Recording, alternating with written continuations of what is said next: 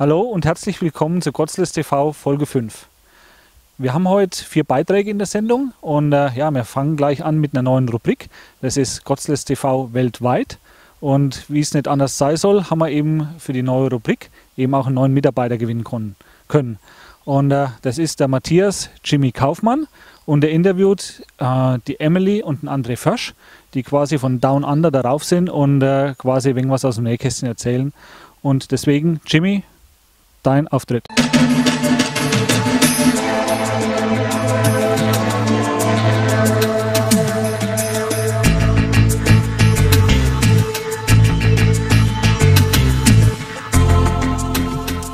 Hallo, ich begrüße euch zu einer neuen Folge von Gosseles TV und begrüße heute André Försch und seine Frau Emily Försch, beide auf einem Kurzurlaub hier in Gössenheim. Erzählt mal, wo kommt ihr her? Wo wohnt ihr, André? Äh, ich komme aus Gösse. Aber gut, wir wohnen jetzt an der Sunshine Coast. Das ist quasi Queensland, Ostküste, so Stunde überhalb von Brisbane auf der Karte. Ja. Und wenn ich dich fragen darf, wie bist du eigentlich nach Australien gekommen? Klar mit dem Flugzeug, aber äh, was hat dich nach Australien getrieben? Die Emily. Okay. ja, ja gut, wir haben uns in der ähm, in einer Bar in Berlin getroffen. Weißt du, wie es ist? Beim Bund Politische Bildung. Und ja, wir sind in Kontakt geblieben. Bin ich mal rübergeflogen im April. Und dann immer wieder, immer wieder. Dann sind wir halt dran hängen geblieben. Also die Liebe hat dich nach Australien gebracht. Die Liebe. Ja. Das ist ja schön. Und äh, jetzt frage ich mal Emily, äh, wie sie überhaupt nach Deutschland gekommen äh, ist. Äh, Emily, how you come to Germany and what is the what was the reason for it? The original reason Yes. Yeah. I came traveling with a girlfriend around Europe for one month. I lived in England for five months before. And I was on my only night in Berlin when I met Andre. And then I continued to Amsterdam, London, and then back to Australia. So it was for a holiday. Okay, also Emily war eigentlich nur auf Europareise und auch nur eine Nacht in Berlin und da hat sie zufällig andere getroffen. Und jetzt möchte ich Sie fragen, wie sie dann mit Andre in Kontakt geblieben ist. And how you keep the contact to Andre and why? Was it love at the first sight? uh, we kept in contact via WhatsApp and Skype. Um, and sure, his, his eyes got me. And he drank water at the bar with me when all his friends refused. They said it had to be alcohol. Also, das war Liebe auf den ersten Blick und sie sind dann über Skype in Kontakt geblieben, was dann zur Hochzeit führte. Genau. Und wie können wir uns eine australische Hochzeit vorstellen? Uh, okay, uh, ist auch unterschiedlich. Also es gibt auch Sitzhochzeiten und, und Cocktail. Hochzeiten. Wir haben jetzt Cocktail gemacht.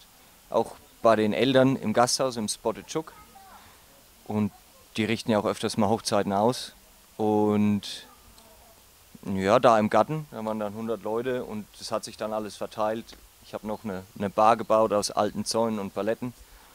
Und es hat sich dann auch, war gut, hat sich dann alles durchgemischt. Australien mit Deutschen, waren ja auch 20 Leute aus Deutschland dann da, was schön war. Hat uns sehr gefreut. Und ja, man hat jetzt nicht so diese Teilung zwischen standesamtlich und dann kirchlich. Das ist quasi ja alles in einem dann zusammen. Ja, und dann haben wir da auch so Mittag angefangen, 3 Uhr, und bis in die Puppen dann durchgefeiert.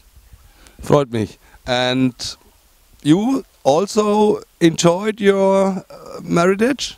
Our wedding, yes. I think it was a very good party. there was a lot of Australians who decided that the Germans at the wedding were their new best friends because they were good drinking partners. So it made for a fun night. Also so können wir uns praktisch eine australische Hochzeit vorstellen, nicht kirchlich und standesamtlich getrennt wie bei uns, sondern einfach große Party auf dem Anwesen von euch. So, dann hätte ich noch eine Frage, André was machst du den ganzen Tag in Australien? Arbeitest du? Was für Hobbys hast du? Und was macht man so in der Freizeit in Australien anders wie hier in Gössenheim? Ja gut, arbeiten habe ich jetzt die ganze Zeit. Ich habe ähm, Photovoltaikanlagen gebaut und Speicheranlagen. Das war so das täglich Brot. Und dann Wochenende auch öfter mal im Gasthaus geholfen. Und die haben ja auch eine Farm mit neun Pferden, ich glaube 13 Kühen, 14 Hühnern. da gibt es auch immer was zu tun. Und dann haben wir noch ähm, ja, so 30 Hektar geschützten Regenwald. Also das ist so jetzt mein Hobby ein bisschen, damit aufzupassen. Ähm, ja, da wächst ja alles, in Australien wächst ja alles, was nicht wachsen soll. Ne, da wächst Kaffee im Regenwald und die englische Hecke und so. Und das muss man halt, damit es alles schön natürlich bleibt, muss man da ab und zu anpacken. Ähm, tauchen. Ne, jetzt wo der Vater zu seinem 60. drüben war, waren wir auch im Great Barrier Reef tauchen. Das macht auch Spaß. Und natürlich, wir wohnen eine halbe Stunde weg vom Meer. Ja, ins Meer. Und da wegen schwimmen, Bodysurfen. Okay, danke. Und jetzt fragt mal die Emily, was sie so beruflich oder den ganzen Tag macht. Uh, so Emily, what you do the whole day? Uh, do you have a job and uh, or are you just working on the farm? I have a job. I'm a social worker in a small uh, family support service in like 10 minutes from our house. And I, uh, when I'm not working, uh, we're renovating. We bought a house, so lots of renovating. We have nine horses, so two are mine. One I'm I should ride more often, but so I'm at the farm. Uh, I don't do as much work in the rainforest as perhaps I should or as Andre does, but I enjoy the farm. Uh, with my spare time, we sometimes go to the beach. We walk. We my parents have a dog, Badger, and we sometimes take him with us, and we go to Point Cartwright, which is a an off-leash dog beach, so the dog can run on the beach and we can swim, and it's pretty good. Yeah. So holiday is a whole year. Oh, only on the weekends sometimes. Okay, also Emily äh, arbeitet äh, als Sozialarbeiterin und während in der Freizeit tun sie zurzeit ihr Haus renovieren und am Wochenende gehen sie gern mit, dem, mit ihrem Hund am Strand entlang und baden so auch ab und zu. So, jetzt habe ich so abschließend noch die Frage, was ist so schön in Australien und was liebst du hier in Deutschland? Ja, in Australien ist halt die Natur, das ist halt was ganz anderes und alles ein bisschen größer. Man hat das Meer, den Regenwald, was teilweise auch noch echt unberührt ist. Das ist, es ist schon stark, also die Natur ist atemberaubend. Ähm, was man so vermisst oder was hier so gut ist, ist die, ja, das Soziale. So wenn man hier aufwächst, durch den Fußball oder den Verein oder das Ganze drumherum, man, man hat schon viele, viele Feiern, jeder hilft dem anderen. Das hat man jetzt in Australien nicht so, diesen Zusammenhang, den wir jetzt hier daheim haben. Und ja, also das Familie, Freunde, das vermisst man auf jeden Fall am meisten. Gut, die Bratwurst vom Lösi, die vermisst man auch manchmal. Ja, da kannst du ja da ein paar Kilo mit rübernehmen, oder? Ja, ich habe immer ein paar Dosen rote und weiße. Die wird dann ab und zu mal rübergeschickt. Ja, aber Bratwurst, da muss ich dann immer rüberfliegen. Okay, danke. Und, äh, also ich frage jetzt Emily, was sie jetzt in Gössenheim schön findet und was die Vorzüge in Australien sind. So Emily, what do you think? Uh, what is your opinion about Gössenheim? What you like here? And what, what, what is the best thing in Australia? What you like in Australia more than here in Gössenheim? I think in Gossenheim there's uh, there's a really special community culture, which we don't have so much where I'm from in Australia. So the idea that everyone is so friendly and welcoming that you might not know them, but by the end of the night, they feel like long, long-lasting friends. And um, there's lots of parties. We save up all our party time for Germany. um, I love uh, the way the trees change colour in autumn. We don't have this so much where I'm from in Queensland because it's just warm all the time. Um, Gita's cooking. Lebikes. It's very good. We don't have this in Australia. Also from Lösi? Yeah, of course, natürlich. Uh, in Australia, uh, I, the weather is often good. I mean, sometimes it's too hot for me in summer, but otherwise in winter it's 24 degrees. I think it's pretty good for winter time. We don't get that here. And we have the beach, which is also pretty good. But I think that there's something special about Gossenheim that's not the same anywhere in Australia. Okay. I think. Danke. So, Emily mag hier wie auch André diese Freundschaften, diese Feiern, was hier in Deutschland fast täglich stattfindet, wenn sie hier sind. Und äh, was in Australien halt sehr schön ist, ist das Wetter, es ist immer warm, was im Gegensatz zu Deutschland oder jetzt auch in Gössenheim Emily schön findet, ist der Wechsel der Baumfarben von, äh, von Frühling über Sommer, Herbst und Winter. Okay, dann vielen Dank für eure offenen und ehrlichen Fragen und Antworten und am liebsten würde ich jetzt von dir noch ein kleines Didgeridoo-Konzert hören. Probier's mal bitte. Echt jetzt? Okay. Wie bläst? Einfach so seitlich oder vorne? Okay. Said it's on the ground. Do you want Ist offen? Oh ja. Warte.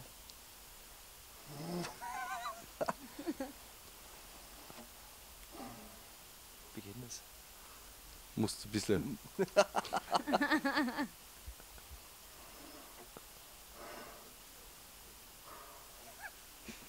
Also, äh, wir merken schon, Ich bin kein Aborigine.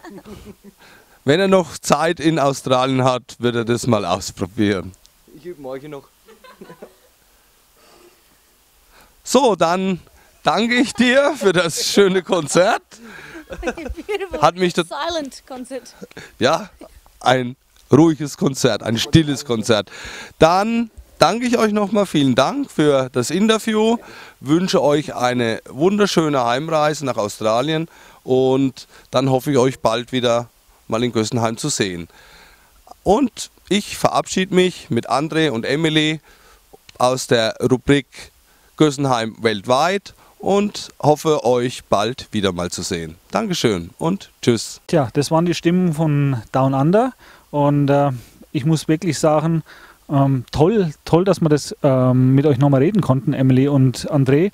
Und wir, wir verfolgen euch auf jeden Fall.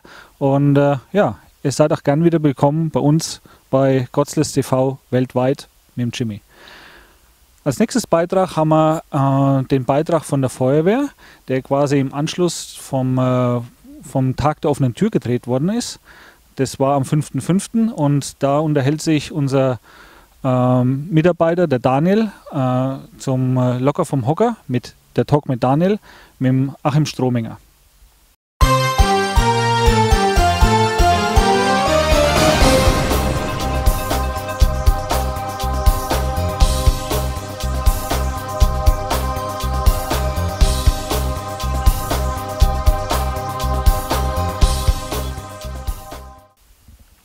Ein herzliches Willkommen und Grüß Gott hier aus dem Feuerwehrgerätehaus in Gössenheim. Hier zu meiner Rechten sitzt Achim Strominger, der erste Feuerwehrkommandant hier im Hause. Und ja, Achim, äh, stell dich doch mal bitte vor für die Zuschauer, die dich noch nicht kennen. Ja, mein Name ist Achim Strominger. Ich bin hier in Gössenheim bei der Feuerwehr der erste Kommandant. Ich bin seit äh, Anfang 2018 im Amt. Äh, davor war ich bereits als zweiter Kommandant im Amt. Das habe ich circa äh, fünf Jahre begleitet. Und ähm, dazu war ich auch bereits als Kreisbrandmeister im Landkreis tätig. Ähm, dadurch habe ich natürlich einige Erfahrungen schon sammeln können. Und durch meine fundierte Ausbildung kann ich mich, denke ich, hier in der Feuerwehr Gössenheim ganz gut einbringen. Wie gliedert sich denn die Freiwillige Feuerwehr hier in Gössenheim? Die Freiwillige Feuerwehr Gössenheim gliedert sich hauptsächlich äh, in äh, den passiven und aktiven Bereich. Das heißt, gesamt haben wir 120 Mitglieder und äh, davon sind dann 35 im aktiven Feuerwehrdienst tätig. Und äh, wie viele Fahrzeuge habt ihr? Wir sehen ja hier im Hintergrund schon, schon eins. Also wir hier in Gössenheim haben zwei Fahrzeuge. Einmal ist äh, das, was wir im Hintergrund sehen, das Löschgruppenfahrzeug, ein sogenanntes LF 106. Bei der Feuerwehr gibt es äh, immer für alles Abkürzungen. LF 106 steht dann für Löschgruppenfahrzeug, also Besatzung für eine Löschgruppe. Und als zweites Fahrzeug haben wir hier am Standort ähm, ein sogenanntes MZF, ein Mehrzweckfahrzeug, das steht dann hier herüben hauptsächlich für den Mannschaftstransport, aber auch als Einsatzleitfahrzeug im Fall der Fälle zu verwenden. Ja, und was für Technik haben die Fahrzeuge mit an Bord? Kannst du dazu was sagen? Also technisch äh, sind wir sehr gut ausgerüstet, ausgestattet nach Stand der Technik, was aktuell so am Markt verfügbar ist. Wir haben einen hochmodernen Pumpenbedienstand hinten am Fahrzeug eingebaut. Wir haben äh, einen Fahrzeugtank mit 600 Liter Wasser an Bord. Wir haben eine zusätzliche tragbare Tragkraftspritze auf dem Löschgruppenfahrzeug verlastet. Wir haben zudem äh, vier Atemschutzgeräte auf dem Fahrzeug verlastet, wobei sich hier zwei Kameraden gleich während der Anfahrt zum Einsatzgeschehen in der Kabine, in der Mannschaftskabine mit dem Atemschutzgerät ausrüsten können.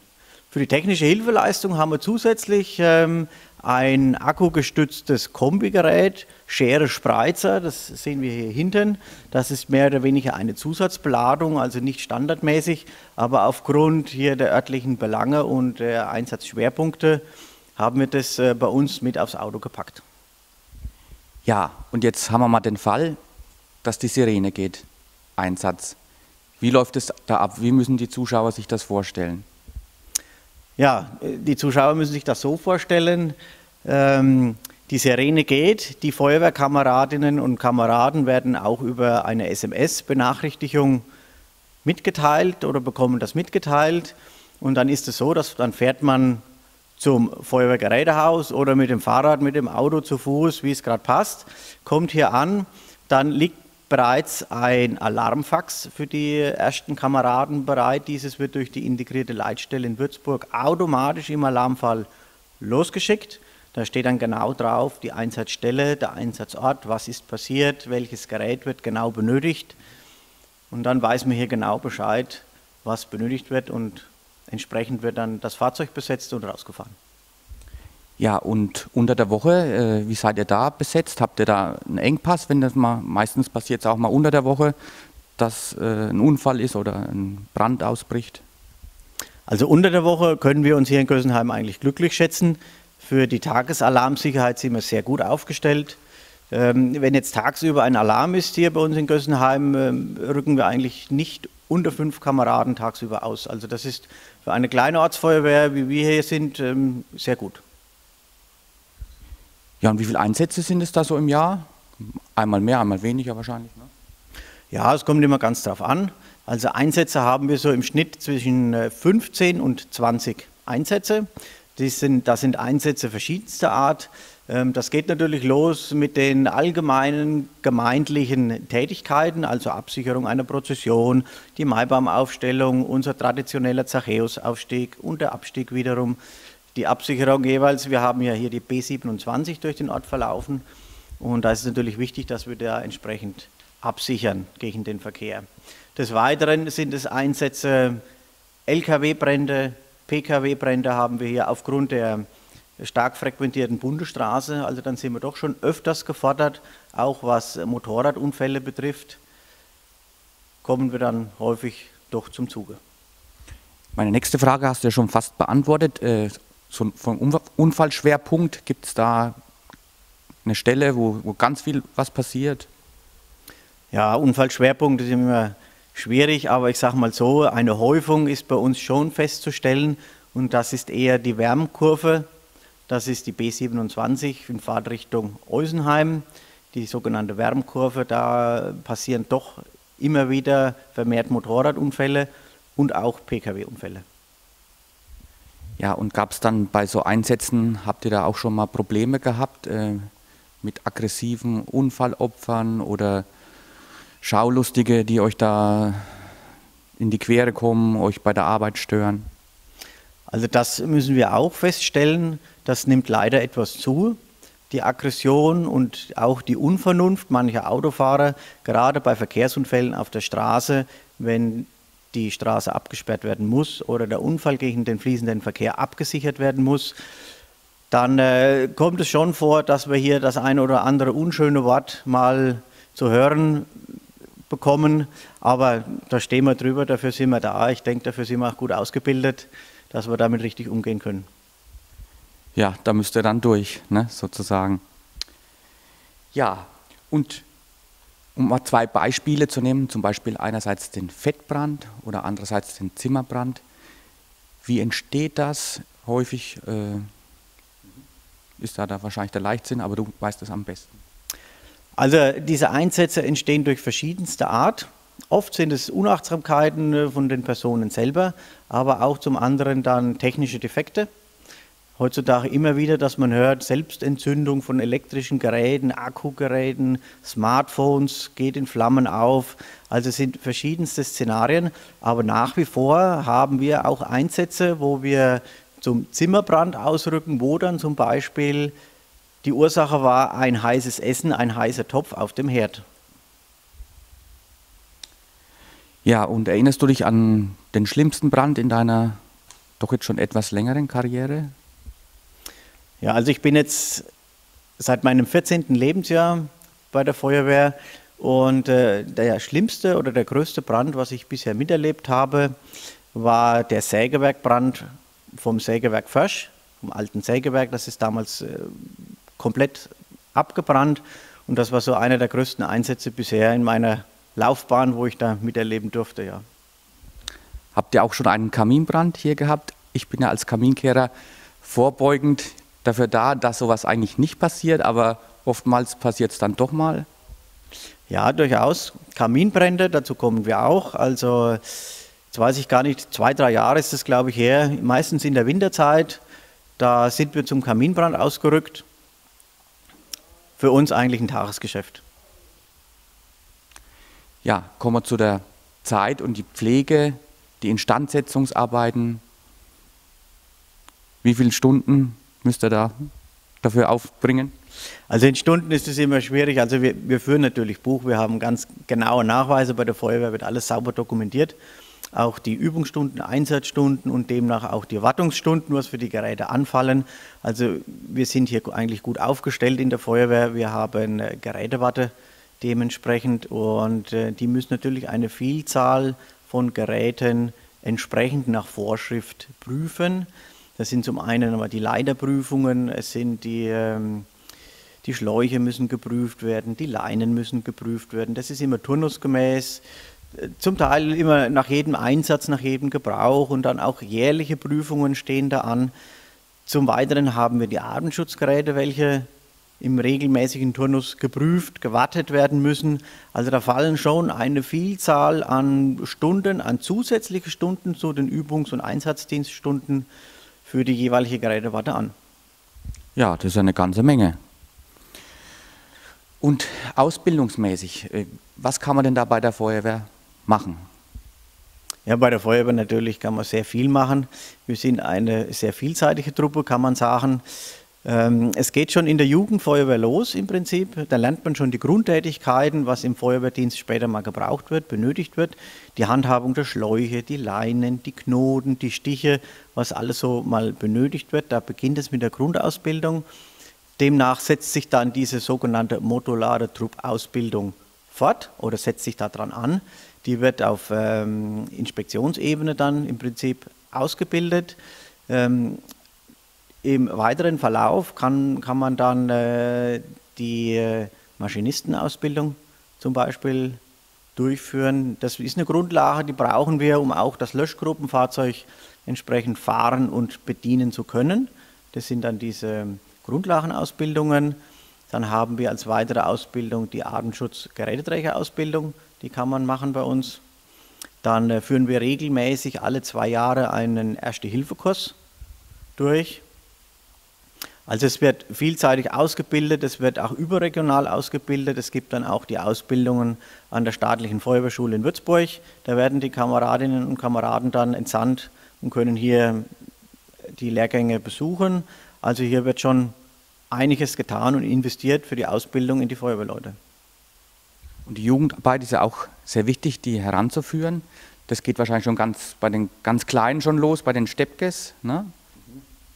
Seid ihr da gut? Also da bin ich richtig stolz drauf im Prinzip, auf unsere sogenannte Kinderfeuerwehr. Die konnten wir vor zwei, drei Jahren ins Leben rufen. Da sind mittlerweile 16 Kinder dabei und das ist mehr oder weniger ein Highlight für die Kinder, diese Termine und das läuft sehr gut. Und äh, danach anschließend, also jetzt hatten wir schon die ersten Wechsel aus der Kinderfeuerwehr, einen Übertritt in die sogenannte Jugendfeuerwehr. Da haben wir aktuell sieben Feuerwehranwärter in unserer Jugendfeuerwehr. Auch eine sehr gute Truppe, sehr aktiv.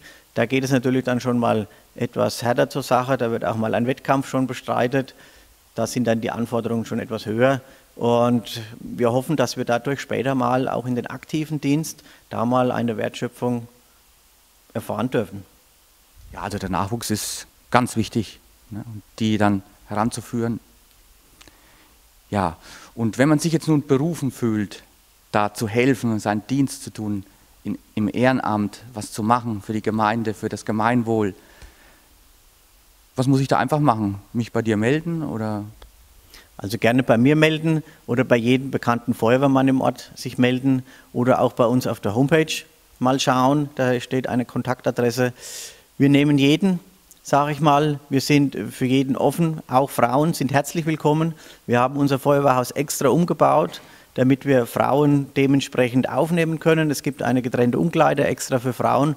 Also wir versuchen hier schon einiges in die Wege zu leiten, damit wir auch ähm, unsere Mitglieder bekommen und auch erhalten. Dann bedanke ich mich bei dir für deine Antworten, die du mir gegeben hast und den Zuschauern und bis demnächst Mal. Ja, vielen Dank. Äh, das war der Beitrag von der Feuerwehr. Und ja, liebe, liebe Jugendliche, bevor jetzt dem Achim die Tür einrennt, weil ihr wisst, das darf bloß die Feuerwehr, ähm, haben wir nachher noch die äh, Homepage von der Feuerwehr unten eingeblendet. Da könnt ihr euch da hinwenden. Ja, unser nächster Beitrag, der handelt von Weinbergs Kapellenverein. Also das ist ein schwieriges Wort, ihr merkt schon, Weinbergs Kapellenverein. Äh, an Sache Wengerts Kapelleverein.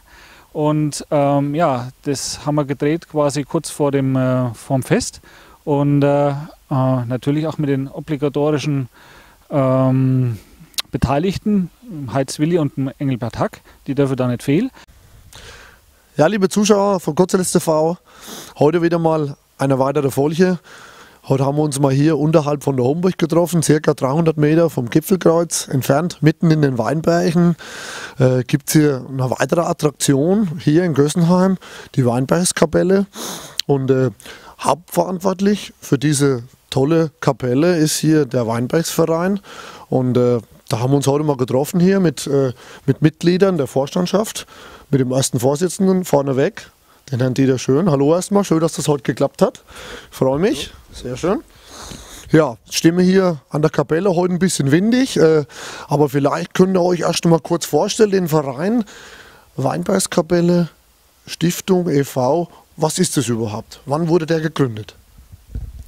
Ähm, ja, ich habe da drüben einen kleinen Garten und immer, das war eine verfallene Hütte da, das war ein roter äh, Ziegelstein und immer, wenn ich raus bin, habe ich die verfallene Hütte gesehen und da ist mir halt der Gedanke gekommen, da muss man was machen. Das, ist also, das, hat, das war ein Schandflehrgeber. Und dann habe ich selbst einmal angefangen und habe äh, versucht, das wieder hochzumauern, aber da sind mehr runtergefallen, wie, wie hochgegangen sind. Dann habe ich mir mal äh, ein Maurer kommen, äh, ist gekommen und hat mir dann hat es einen Sinn überhaupt, da hochzumauern oder? Und da hat er gesagt, das ist kaputt, das muss ich wegmachen. Jetzt muss ich nochmal fragen, was stand denn hier früher eigentlich an Ort und Stelle? Weil jetzt, jetzt sieht ja alles so toll aus, aber was war denn früher hier überhaupt auf, dem kleinen, auf der kleinen Anhöhe hier? Die kleine Anhöhe, ja, die kleine Anhöhe war, war ein, ein, ein, äh, von früher ein altes, äh, ein altes Haus für die Weinberge, um, äh, um Wasser zu sammeln für die Spritzmittel. Okay. Und das ist halt alles zusammengefallen. Das hat dann nicht mehr zu, zu nichts mehr gehört. Da ist die, die Straße zwischengekommen. Die, die Straße war ja früher nicht. Und dann wurde das abgetrennt und keiner hat sich mehr darum gekümmert. Und das war dann äh, der Grund, äh, gehört der Gemeinde und die Steine äh, gehörten dem Winzer. Und den muss man dann auch erst noch ins Boot bringen, dass man die Hütte dann, dass wir die Steine oder das Eck bekommen haben. Und dann äh, haben wir halt, dann habe ich die Idee gehabt, eine Kapelle wäre nicht verkehrt, aber ich wollte halt nur ein paar Steine und wollte ein paar Balken drauflegen und ein paar Ziegel und fertig und ein Kreuz rein. Und dann wurde das draus. Also kurz und bündig, es war ein kleinerer Schandfleck, sagen wir es mal so. Es war ja so ein Schuttberg und dann, und dann habt ihr euch äh, dazu beschlossen, jawohl, wir, wir machen da was. Ich habe da ein Bild davon da, ich weiß nicht, wenn der Kollege das einmal, da kann man es ja mit dazu zeigen. Ne? Ja, klar.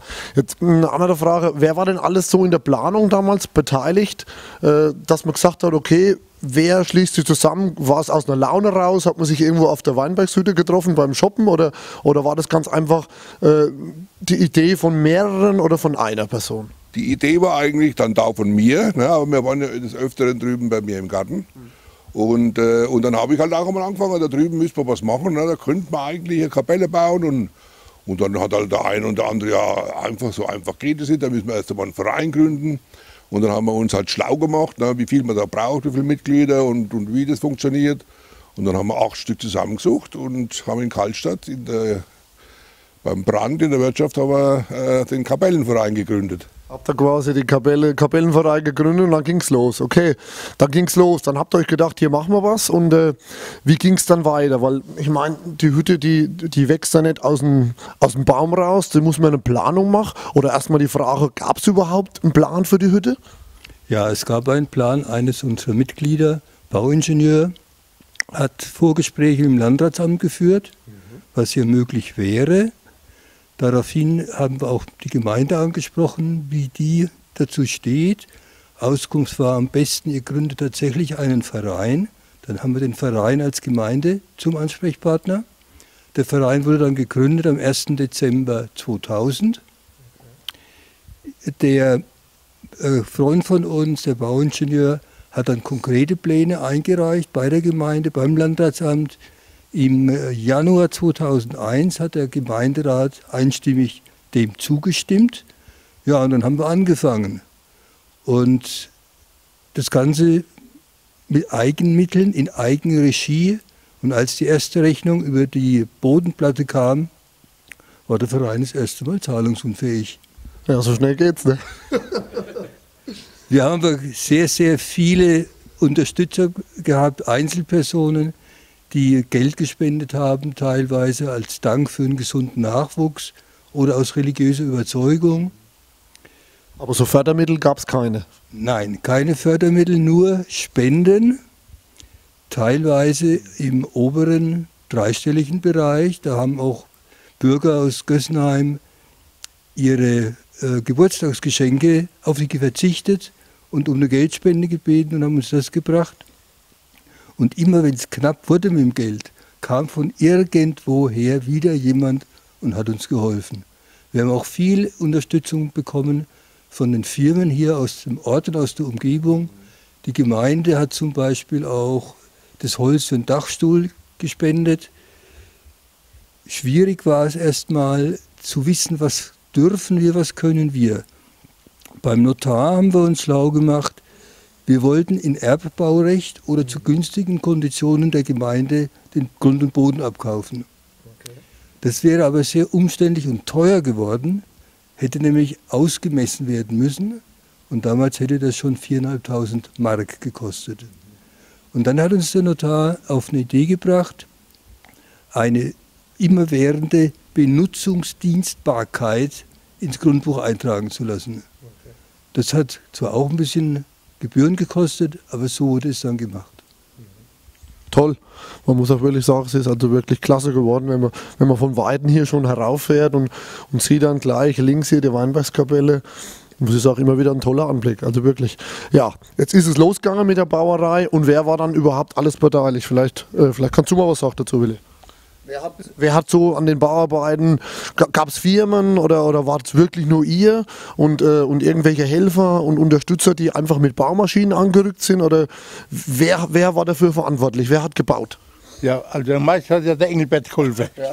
Der Engelbert mit seinem Bulldog und, äh, und der Ludwig Weiglein Okay. auch. Ja. Und äh, was war noch Firmen da? Zimmerer, Zimmererarbeiten mit Sicherheit, da brauchen wir ja auch einen Fachmann, ne, oder Dieter? Da haben wir den Herrn Kruch aus äh, Eusenheim Und zwar war da, das ist irgendwie Verwandtschaft zu ihm, der wohnt auch bei ihm, der Kilian hat uns die Bruchsteine geschlagen. Weil da waren wir also, da haben wir fast kapituliert, Bruchsteine, Bitschen, war also keiner von uns äh, fähig. Und dann haben wir uns zwei, äh, die es noch im Landkreis gibt, ich glaube, gibt es nicht mehr so viele Bruchsteine, die Bruchsteine schlagen können, die haben wir uns geholt. Und da war eben dann der Herr Kruch, der oben äh, den Dachstuhl gemacht hat und die Gemeinde hat uns das Holz dazu gegeben. Also auch viel in, in der Freizeit, in Eigenleistung. Nur, nur, nur Ausschließlich in der Freizeit und gebaut immer nur samstags. Toll. Und trotzdem haben wir für den reinen Rohbau nur acht, zehn Wochen gebraucht. Ja, das wäre meine nächste Frage gewesen. Engelbert, wann, wann war denn dann, wann war denn dann Anweisung? Wie lange war denn die Bauzeit? Bauzeit war ungefähr ein Jahr, ne? Ja. Also ein Jahr in, in Sommer, Winterzeit, wenn es gepasst hat. Ne? Man sieht auch, es ist sehr viel im, im, Detail noch nachgearbeitet worden, aber ich denke, das ist im Laufe der Jahre erst so richtig entstanden. Ne? Ja. Was findet denn so an der Kapelle, die da alles so statt? Was, was ist denn da das Jahr über geboten oder ist es einfach nur ein Platz, um mal Ruhe zu finden, um zu beten? Oder wie, wie ist die Kapelle so gedacht? Ja, also gedacht erst einmal äh, als Weinbergskapelle. Ne? Wir machen jedes Jahr eine Maiandacht. Die nächste ist am 24. in 14, also fast 14 Tage. Und dann sind auch so, so Gesangsfrauen, da kommen immer so zehn, zehn Frauen, die da in der Kapelle singen. Ne? Ansonsten sind keine äh, Festlichkeiten. Ne? Also, also auch so offizielle Anmeldungen für Hochzeiten oder für Taufen oder sowas, das ist eigentlich auch gar nicht so gewünscht. Nein, nein, nein, keine, keine Hochzeiten, keine Taufe. Äh, dafür ist die Kirche vorgesehen, sagt die Kirche. Ne? Okay, ja. Ja, jetzt grundsätzlich Öffnungszeiten von der Kapelle hier. Wann, wann kann man hier, wenn man mal vorbeischlendert, in die Kapelle gehen? Wann, wann kann man sich die Kapelle mal anschauen? Wann kann man mal die Glocke läuten? Ja, ich, wir haben uns also schon ein wenig schlau gemacht. Es gibt ja noch mehr äh, zu Kapellen im, im, Wald und am Weinberg. Und äh, da hat man also gehört, alle, die zugeschlossen werden worden sind, sind alle aufgebrochen worden. Und da haben wir uns eben gedacht, äh, wir machen eine ohne Schloss, dass man Tag und Nacht rein kann. Weil wenn, wenn was geschlossen ist, da will man rein. Ne? Und das haben wir, haben wir nicht gemacht. Also 24 Stunden geöffnet. Liebe Zuschauer, wer möchte, kann jederzeit raufkommen in die Weinbachskapelle und kann einfach vielleicht auch mal nur ein Gebet mit sich selber machen. Ja, jetzt wäre dann die Frage, ich, wie gesagt, ich bin eh restlos begeistert von der Kapelle der Außenbereich, der Innenbereich. Wer pflegt das? Macht das dann auch? Äh, machen das eure Frauen? Macht ihr das? Wie, wie, wie, wie läuft das ab? Weil ich sehe hier meistens nie einen, aber trotzdem ist es immer so top gepflegt. Wir haben einen rausgeschaut, dann haben wir lang gebraucht und dann haben wir den Herrn Herbert erwischt. Okay. Und der macht das mit einer Leidenschaft. Das kann regnen oder schneien am Samstag. Wenn Sie ihn suchen, ist er bei der Kapelle und pflegt den Außenbereich und den Innenbereich. Und wie viel oft? Wie oft die Woche? Kann man da was sagen? Stundenleistung? Einmal. Naja, der Samstag ist regelmäßig Aufräum, Putz und Reinigungstag, aber ich mache es nicht alleine. Alle anderen helfen mit und es ist keine Geschichte, die auf Frauen bezogen wird. Das machen wir alles im Kreis der Mitglieder. Viele unserer Mitglieder sind im etwas vorgerückten Alter und deshalb sind es meist die Leute hier direkt aus der Vorstandschaft, die dann auch mit Geräten umgehen können. Also auch wieder Eigenleistung und halt einfach auch ein Stück weit, äh, ein Stück weit, ja, ich möchte das machen, ich möchte das pflegen, um ganz einfach das zu erhalten, was so schön ist, ne? ganz klar. Ne? Zum Beispiel, ja. äh, das Gelände musste erneuert werden, ne? da war vorher ein Holzgeländer, aber der Zahn der Zeit hat äh, da eben genagt und jetzt haben wir da ein neues Gelände hingemacht. Mit Sicherheit fallen auch immer wieder Kosten das Jahr über an, das muss instand gesetzt werden und so weiter. Was, was kann man denn äh, tun, um euch zu unterstützen? Wie, können, wie kann man euch unterstützen? An wen muss man da sich melden? Spenden, spenden. Das heißt, Dieter, irgendjemand von der Vorstandschaft oder dich persönlich ansprechen, wenn jemand äh, sich damit verbunden fühlt und finanziell unterstützen möchte? Ja, wir finanzieren uns einmal aus Mitgliedsbeiträgen, aus Spenden und wenn wir die Maiandacht abhalten können, witterungsbedingt, dann kommt eventuell auch ein Überschuss. Zweimal hat man die Maiandacht ausfallen müssen, wegen Schlechtwetters. Pech war, dass wir das ganze Material schon hat, eingekauft hatten. Ja. Aber Gott sei Dank haben äh, Mitglieder, Freunde und Bekannte dann Würst und Wein auch privat abgekauft. sodass wir zweimal mit dem blauen Auge davon gekommen sind. Okay. Ja, wenn jemand draufkommt, ein Kätzle hinstellt und ein paar Cent in die Box schmeißt, wäre uns das schon recht. Jetzt befinden wir uns wieder in der, in der Kapelle und äh, was gleich ins Auge sticht, äh, sind diese tollen Figuren, ob das jetzt ein Engel ist oder, oder hier solche Schnitzfiguren. Zum ersten Mal die Frage, was ist das überhaupt? Wer ist das überhaupt? Das ist der heilige Urbanus, Schutzpatron der Weinberge. Der wurde gestützt von Herrn Waldemar Klein hier aus Gössenheim. Und das Holz wurde gespendet. Auch das, das Holz wurde immer von irgendeinem Fabrikanten gespendet. Und äh, der Herr Klein hat uns die Figuren geschnitzt. Der ist schon einmal abhanden gekommen. Da haben wir einen neuen bekommen. Also die, die Figuren sind alle von Herrn Waldemar Klein. Und die, und die Blecherbalken und so weiter, jetzt auch am Dach und so, das, wer hat das alles gemacht? Das war ein Mitglied von uns, die Firma Lummel in Karlstadt. Heinz Lummel, der hat uns das Dach spendiert oben. Ja. Ja, liebe Zuschauer, wie gesagt, Weimarskapelle Gössenheim, eine ganz tolle Sache. Wenn, wenn ihr mal die Zeit habt und guckt vorbei hier an der Homburg, schaut sie euch an und äh, nehmt sie euch mit in den täglichen Alltag. Wenn ihr mal Ruhe braucht in der Weinbergskapelle, ist immer die Tür offen. Dankeschön. Ja, liebe Zuschauer, eins haben wir noch vergessen. Natürlich dürfte die Geselligkeit nicht zu kurz kommen. Und da haben sich hier in Gössenheim die Wengertsbuben getroffen und man hört sie schon hinten im Hintergrund spielen. Ich glaube, wir laufen mal vor und schauen uns die Jungs mal an. Auf geht's.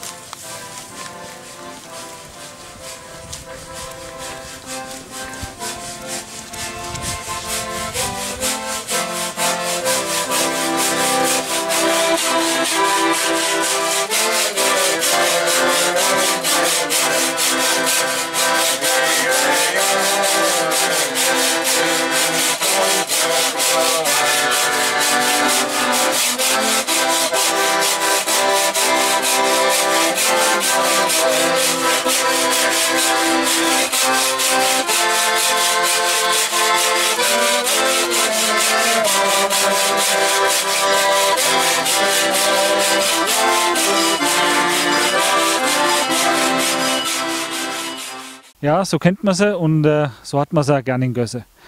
Ähm, es wird immer was fehlen, wenn sie mal nicht mehr da sind. Deswegen toi toi toi, dass sie so weitermachen und vor allem äh, mit der Wengertskapelle.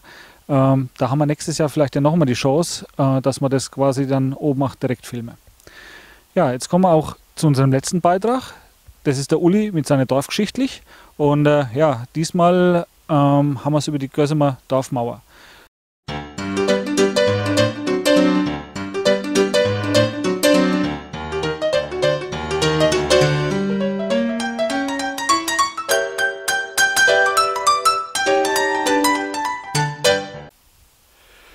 So, grüß Gott. Heute sind wir Hinlersdorf. Die Straße hinterm Dorf, die markiert genau den Verlauf der ehemaligen Dorfmauer, Dorfmauer aus Gössenheim. Und die Gössenheimer Dorfmauer, die soll heute unser Thema sein. An der Stelle, wo wir uns jetzt befinden, die Kreuzung hinterm Dorf, Hauptstraße, da war eines der drei Tore, die es früher mal in Gössenheim gab. Und an dem Haus hier ist das Bild von der ein wie eine Art Bildstock von der auf der ist zu sehen die heilige Dreifaltigkeit. Passt auch ganz gut. Am Sonntag ist Dreifaltigkeitssonntag. Das Bild von der heiligen Dreifaltigkeit das soll früher mal im dem einen Tor, das sich hier befand, der Ortsbefestigung, soll das drin eingemauert gewesen sein. An der Stelle darf ich auch gleich wieder Werbung machen für das wertvolle Buch vom Theo Gärtner über die Ortsgeschichte von Gössenheim und Sachsenheim. Da habe ich auch die meisten Fakten her, die ich euch heute erzählen möchte. So, die Straße, die wieder den Verlauf der ehemaligen Dorfbefestigung markiert, wo wir jetzt stehen am Feuerwehrhaus. Die hieß früher die Schmitte, heißt, heißt eigentlich immer noch die Schmitte, aber offiziell heißt es jetzt auch im Navi, wenn man es eingibt, ist es der Feuerweg. Also früher die Schmitte. Und an der Stelle, wo jetzt das Gemeindehaus, das Feuerwehrhaus steht, da war im Jahre 1816 der zweite Gössenheimer Friedhof, der zweite Kirchwig Der erste war direkt um die Kirche rum, um die Pfarrkirche. Der zweite war hier an der Stelle, also damals am Ortsrand, hier am, am Tor. Und der Friedhof wurde dann später, wurde dann später dorthin verlegt, wo er jetzt auch ist. Allerdings wurden die Gräber nach dem Zweiten Weltkrieg noch einmal umgelegt. Also das war dann auch noch mal, wurde noch mal umgestaltet. Also hier die Stelle, wo der Friedhof mal war, auch der Rand vom Dorf, wo dann früher die Dorfmauer verlief. Da sieht man jetzt noch im Hintergrund Reste von der ehemaligen Dorfmauer, die wahrscheinlich schon noch original sind. Manche Manche Teile der Mauer mussten natürlich, wurden natürlich im Laufe der Zeit durch Gebäude ersetzt, wurden abgerissen und äh, mussten Zufahrten, Einfahrten Platz machen. Also die Dorfmauer ist nicht mehr komplett erhalten, leider. Der, wie Theo in seinem Buch geschrieben hat, ist der genaue, die genaue Höhe und auch der genaue Verlauf der Dorfmauer, der ist also nicht bekannt. Wir zeigen euch auch dann nochmal ein Bild vom Urkataster da, das, das Gössenheimer Urkataster aus dem Jahre 1843. Da ist der, der wurde die, die Dorf, das Dorf kartiert. Das erste Mal in einer Karte und da ist auch der Verlauf der Dorfmauer ganz gut zu erkennen. Und da ist auch noch das, das letzte Torhaus zu erkennen. Das zeigen wir dann später. So, wir stehen jetzt am Eingang von der Simmesgasse, die Simonsgasse. Bei uns gibt es ja die Simmesgasse, die, den Simonsweg, Simmeswach. Und früher gab es auch die Simmesjürchli. Und äh, am Eingang von der Simonsgasse, da war früher auch noch mal ein Tor. Von dem Tor gibt es keinerlei Reste mehr. Allerdings deutet auf das Tor hin der Name Torbrunnen, der Dauerbrunnen. Ungefähr da, wo ich jetzt stehe, Mitte in der Straße unter mir, da ist der Brunnen. Den hat man bei der, beim Straßenneubau, beim Neubau der Wernbrücke, hat man den Brunnen mit einer Betonplatte abgedeckt und hat versucht, das Wasser rüber zu leiten und hat da drüben einen neuen Schacht hingebaut.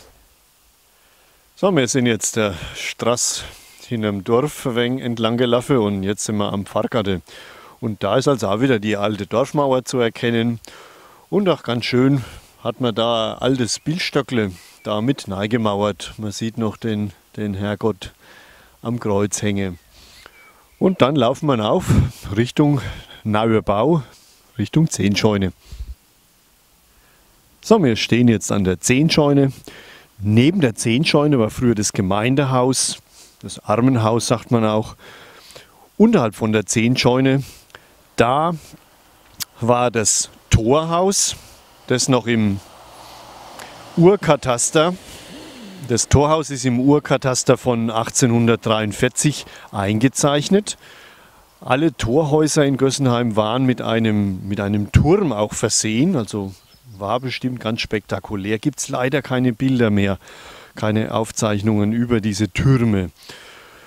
Ein solches Torhaus ist schwer vorzustellen. Ich habe eins in Nassach in den Hasbergen mal fotografiert. Das zeigen wir euch auch dann im Video. Unsere Dorfmauer, die ging dann weiter. Nunner, die Straße heißt Dietersau, in Gösse sagt man Götterschar.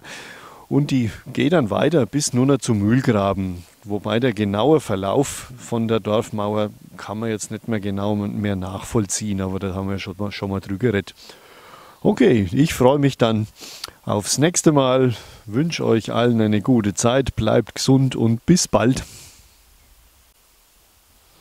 Tja, vielen Dank, lieber Uli. Again, what learned, sage ich da nur. Ähm, vor allem, das war zum Teil gar nicht so bewusst, was das mit der Dorfmauer so alles auf, auf sich hat. Ja, dafür danke. Ja, jetzt komme ich ähm, noch zu unseren Veranstaltungshinweisen. Da habe ich noch drei Stück. Der erste ist äh, oder betrifft unseren FC Gössenheim. Da geht es um Sportfest. Das ist am 29. und 30.06., also Samstag und Sonntag. Am 29. da haben wir quasi, was da heraussticht, ist unser Lebenkicker-Turnier. Da haben wir auch ein extra Outtake, also extra Filmbericht. Den könnt ihr auch äh, schnell nachgucken. Ähm, und zwar ist das die Auslosung für das Leben Kicker Turnier. Die haben wir eben extra. Und am 30. dann eben unser Werntal Cup. Das ist der Cup für alle Jugendspieler und ja, es macht immer Spaß, wenn man denen zuguckt. Und ja, auch ganz besonders ähm, bedanken bzw. aufmerksam möchte ich machen, weil unsere Freunde vom FC Ostenland sind wieder da mit ähm, zwei Jugendmannschaften und das ist ganz, ganz toll, dass da die Freundschaft so lang besteht. Okay, jetzt, ich weiß, es war lang, äh, aber jetzt kommen wir zum nächsten Veranstaltungshinweis. Das ist am 11.08., das ist der Dämmerschuppen, der vorne beim Pfarrer in seinem Pfarrhof ist. Und, ähm, aber ich will darauf verweisen, dass vorher auch noch Kirche ist. Also bitte auch vorher schon in die Kirche kommen, nicht nur zum Dämmershoppen. Und der dritte Veranstaltungshinweis, ja, das ist wieder soweit. Es geht hier um die Burg. Das ist vom 14. bis 16. August ähm, unser Burgweinfest. Also das Burgweinfest vom FC Gössenheim äh, findet hier wieder statt. Und ja, darauf gehe ich das nächste Mal noch ein wenig näher ein. Okay, dann wünsche ich euch gute Zeit und bis dahin. Tschüss, euer Marc.